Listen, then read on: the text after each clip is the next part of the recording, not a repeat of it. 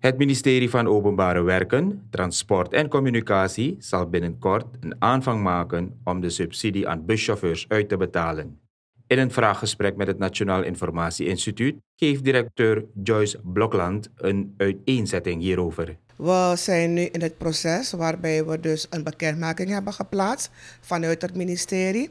En de bushouders hebben gevraagd om hun rekeningnummers naar het ministerie te brengen. Het zij beneden bij onze informatiecentrum, het zij dus via onze mail.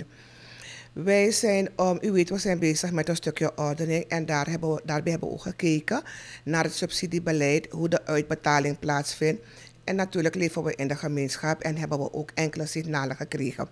Maar los daarvan is het de taak van de overheid om de subsidiehouders zelf te betalen. Er is in het verleden gekozen voor een ander model. En wij hebben dat geëvalueerd en hebben aangegeven, of tenminste hebben geadviseerd aan de minister, om, een model te bekijken om de bushouders rechtstreeks te betalen. We zijn in het proces van het inventariseren van de um, rekeningnummers van betrokkenen. Gelijktijdig um, komt daarbij ook hun kentekennummer en um, de route die ze rijden. We hebben um, in het ordeningsproces hebben we ook een automatiseringsafdeling in het leven geroepen. Dus de informatie gaat dus naar de, naar de automatiseringsafdeling. Dat alles wordt, ge, um, wordt ingevoerd. En wanneer we zo ver zijn, dan komt er weer een bekendmaking waarbij we dus zullen aangeven wanneer de uitbetaling via het ministerie zal plaatsvinden. Um, we hebben gekozen voor dit model omdat het toch wel de taak van de overheid is om um, te zorgen voor een goed busvervoer. En we hebben de zaken nu in place. Um, wij hebben bewust ervoor gekozen om de gelden van de overheid rechtstreeks door te laten vloeien naar de bushouders. Hierdoor heb je dus dat zaken niet verkeerd lopen. Er zijn bepaalde dingen geconstateerd. En op grond daarvan hebben wij dus gezegd van oké, u weet ook er is een achterstand of tenminste er is een um, verschil opgemerkt. Voor, van één kwartaal dat we hebben dus um, geïnventariseerd. Maar in het kader daarvan en ook vanuit de roep vanuit de gemeenschap want natuurlijk zijn, is de gemeenschap ons oor en ons oog. De bushouders die hebben dat ook aangegeven dat ze dus um, niet tevreden zijn over de wijze hoe de betaling plaatsvindt. Al die zaken meegenomen, heeft de minister dus het besluit genomen met zijn staf om dan in de naaste toekomst de bushouders zelf um, uit te betalen. Een belangrijke zaak die wij dus ook um, indrukken, dat is het hostelpraktijk van de bushouders. Um, het is niet nieuw dat ieder schreeuwt over de PL'ers. Natuurlijk zijn er ook andere routes waar we problemen mee hebben. Maar um, de grootste route is de PL, waar er dus een soort hostelsysteem is. Um, wij hebben begrepen en het ook onderzocht, hebben dus kunnen zien dat de bushouders, zo'n buschauffeur die zij in dienst hebben, ze krijgen een volle tank en dat krijgen ze s morgens. En een um, x-bedrag dat ze moeten inleveren middags. U begrijpt, als om 1 uur of om 12 uur dat al binnen is, is de rest dan hosselen voor de buschauffeur om dan wat extra geld te maken.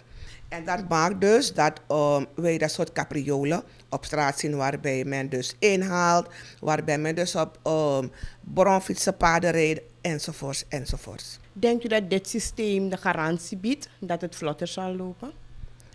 100% garantie kan ik niet geven, we moeten het samen doen. Maar voor wat de betaling betreft, dan betekent dat dat um, wij dus zullen kijken als we op maandbasis zullen uitbetalen of als we het laten op kwartaalbasis. Maar in ieder geval, wij hebben ervoor gekozen om in de naaste toekomst samen met de minister van Financiën via, een bank, uh, via de postpaarbank, denk ik. Laat me houden ten goede als dat niet juist is. Maar in ieder geval, de gelden zullen dan gestort worden rechtstreeks op naam van de bushouder. Als dat systeem werkt, kunnen we weten na evaluatie. Het is namelijk zo dat er in verleden is gesjoemeld met gelden. Hè? Is er al een onderzoek ingesteld en wat is het resultaat? Ik mag u aangeven dat um, we inderdaad een tekort hebben gemerkt. Ik zal maar niet praten over sjoemelen, maar er was een tekort. En we hebben dat voorgelegd aan de PLO een paar maanden terug. De PLO-voorzitter was toen uitlandig. En bij zijn terugkomst heeft hij dus aan ons aangegeven, ook aan de minister in een gesprek, dat um, zijn accountant bezig is met het onderzoek. We zijn nu een x aantal maanden verder en we hebben nog geen resultaat gehad over dat onderzoek, wat het resultaat is. Het ligt dus nu aan de minister om te kijken welk besluit hij hieromtrent zal nemen. Om hoeveel bushouders gaat het die via het ministerie hun subsidies zullen ontvangen?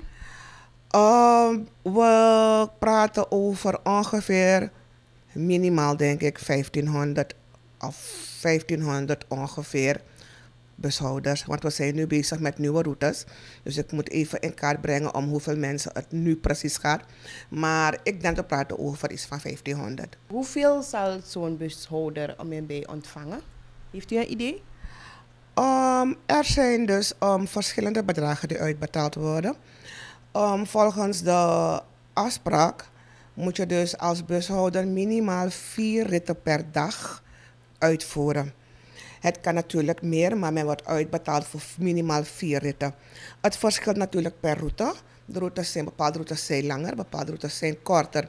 Dus ik denk, zoals ik het kan inschatten, tussen de 4 8000, daartussen lopen die bedragen. Het hangt er vanaf. Het hangt van de kilometers af die zo een bus aflegt. Eenmaal ik u aan de praat heb, mevrouw Bloklaan. Het is namelijk zo dat er een pilotproject is van de bussen naar universiteit. Kunt u ons daar meer over vertellen? Laat me ervan zeggen, minister Patrick Pengel heeft ervoor gekozen om, om routes te maken vanuit het zuiden en vanuit het noorden. En nu heeft zelfs ook vanuit um, een voorstel gedaan.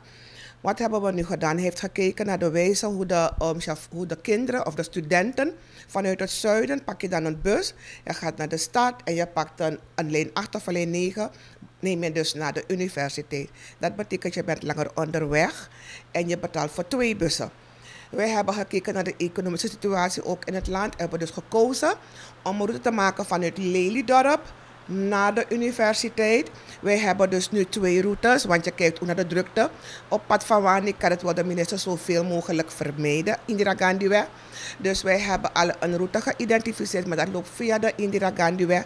En omdat hij dus aangeeft, en terecht zegt hij dat ook, van laten we die weg ontlasten.